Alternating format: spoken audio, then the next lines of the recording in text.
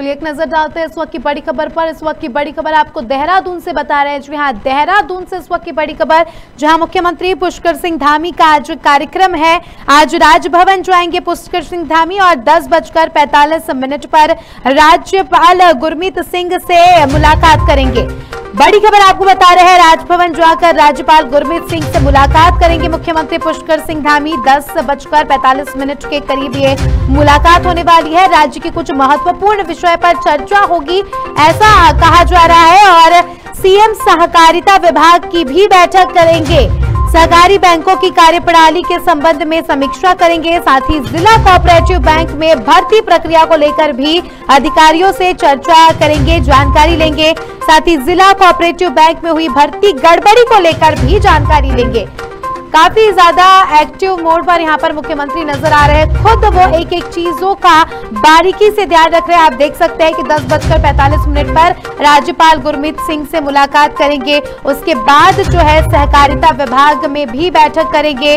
जिला cooperative bank की भर्ती प्रक्रियाओं को लेकर अधिकारियों से जानकारी लेंगे। साथ ही जिला कोऑपरेटिव बैंक में भर्ती गड़बड़ी को लेकर भी यहाँ पर सीएम खुद अपनी नज़र रखने वाले हैं, खुद जानकारी लेने वाले हैं।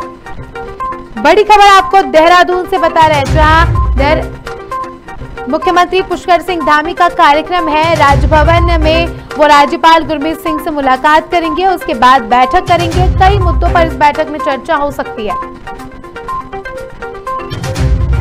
तो बड़ी खबर आपको बता रहे हैं देहरादून से, जहाँ सीएम पुष्कर सिंह धामी का कार्यक्रम है, आपको पूरा शेड्यूल हम बता रहे हैं। दस बजकर पैतालीस मिनट पर राज्यपाल गुरमीत सिंह से मुलाकात करेंगे सीएम, फिर राज्य के कुछ महत्वपूर्ण विषय पर भी इसमें चर्चा होगी। चलिए इसी के साथ, हमारे साथ हमारे ब्यूरो चीफ अवनीश गुप्ता हमारे साथ जुड़ चुके हैं देहरादून से। अवनीश, सीएम पुष्कर सिंह धामी का आज कार्यक्रम है। राजभवन जाएँगे और राज्यपाल गुरमीत सिंह से चर्चा करेंगे। तो क्या वो चर्चा के विषय होंगे जिस पर चर्चा होने वाली है आज की? देखिए स्मिता जिस तरीके से अगर बात करें एक्शन मोड में यहाँ पे पुष्कर सिंह धामी नज़र आ रहे हैं, लगातार चाहे वो बॉडी का दौरा हो यहाँ पे नकल विरोधी कानून की बात हो, अब जिस तरीके से यहाँ पे सहकारिता की बात थी, उसमें जो है भक्ति घोटाला हुआ था, बीच में लगातार उसमें भी उसको जो है जाँच कमेटी की भी बात इन तमाम चीज़ों को लेके और राज्यपाल से इनके मिलने की जो है यहाँ पे आज बात की गई है। और उसमें जो है कहीं काफ़ी विकास कार्य इसको जो है ऊपर चर्चा होगी।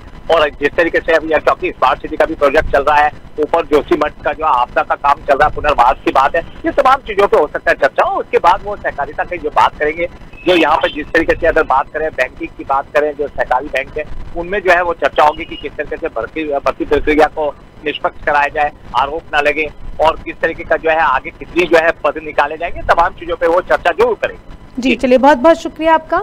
हमारे साथ जुड़ने के लिए और तमाम जानकारी साझा करने के लिए तो बड़ी खबर आपको देहरादून से बता रहे हैं जहाँ मुख्यमंत्री पुष्कर सिंह धामी का कार्यक्रम है 11 बजे। जो है, यानी दस बजकर पैंतालीस मिनट पर वो पहुँच जाएँगे राज्यपाल गुरमीत सिंह से मुलाकात करने। उसके बाद जो है, कई विषयों पर चर्चा यहाँ पर हो सकती है।